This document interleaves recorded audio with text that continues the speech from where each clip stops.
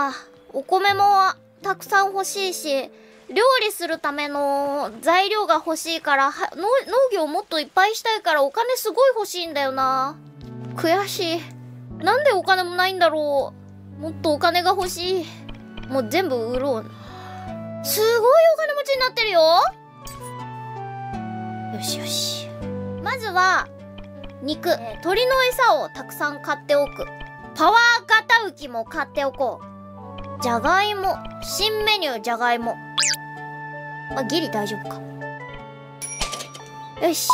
さっきのお金どこ行ったのって、ガキにはわかるまいな。これが経済だよ。売る。こりゃ金持ちだ。よし、じゃあ、両方のやつ買って、これね。あ、よかった。やばい、気がでかくなってしまっている。よくない？よくないな。ちょっとなんかまんべんなく買いたいな。まんべんなく。あれ？お金なくなっちゃった。あれ？おかしいな。あれ？なんで？あれ？まあいいか。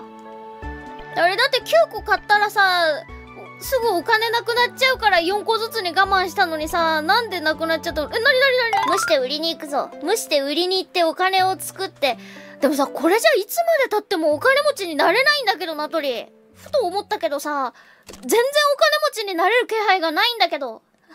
みんな、なんでだろう魚はただのはずなのにさ、なんでナトリってお金持ちになれないんだろうどうしてかなまだ準備段階か。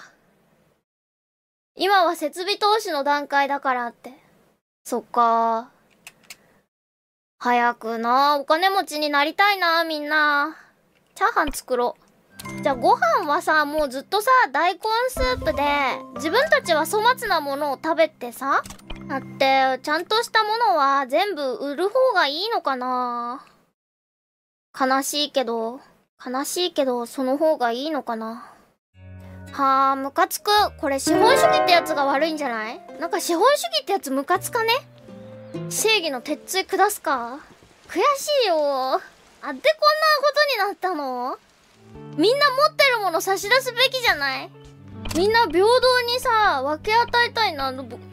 でもそうなると、一番物を持ってるのはナトリだからな、まずいんだよな、その点。こんなに頑張ってるのに400円にしかならなかった。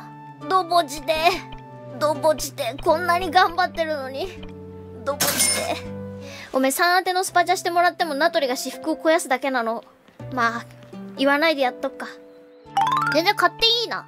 だってさ、ナトリたちはフグ刺しで、これから財をなすのだから、カレーってもう売っちゃっていいのかないっぱい買おう。え、なんか急にお金持ちになってきたと思わない？ナトリたち。あれ？あれ？あれ？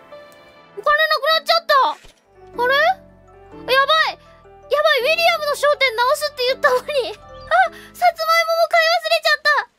あれ？まあいいや、こっから収穫だから。あ